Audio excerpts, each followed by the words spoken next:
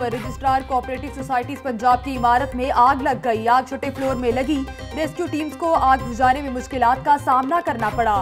Fire brigade की तेरह गाड़ियों ने आग पर काबू पा लिया। कूलिंग का अमल जारी।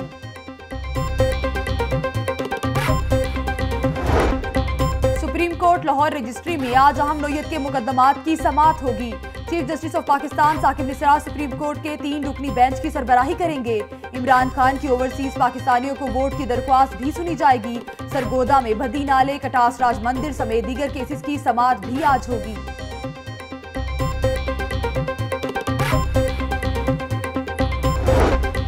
तब्दीली आ नहीं रही, तब्दीली आ गई है। पंजाब के सियासी कला में नून लीग की मज़बूत दीवार टूट गई।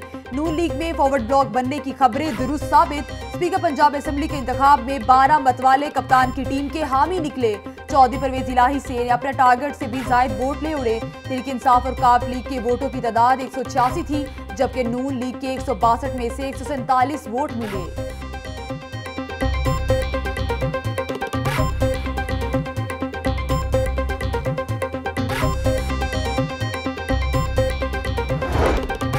पंजाब में नून लीग पहले इम्तिहान में नाकाम कप्तान के लिए मैदान साफ़। स्पीकर और डिप्टी स्पीकर की सीट्स अपने नाम कर ली।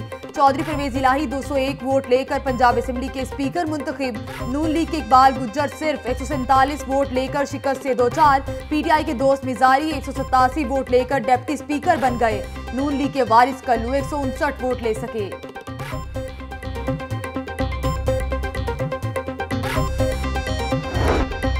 हमारे लोग किधर गए? ढूंढो। लीग क्यादत को टेंशन पड़ गई। हमजा शहबाज का इंक्वायरी का हुक्म खाजा साद रफीक को बाकी अरकान को ढूँढने का मिशन सौंप दिया। इलेक्शन में मुबैना धांधली पर नून लीग का व्हाइट पेपर छाया करने का ऐलान। हमजा शहबाज कहते हैं स्पीकर के इलेक्शन में हमारे वोट्स पर डाका डाला गया।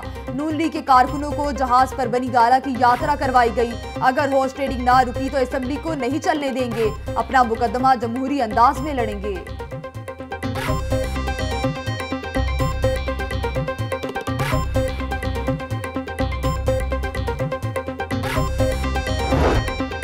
जमहूरी तरीके से स्पीकर और डिप्टी स्पीकर का इंतखाब हुआ। हमने नून लीग की ख्वाहिशों पर पानी फेर दिया।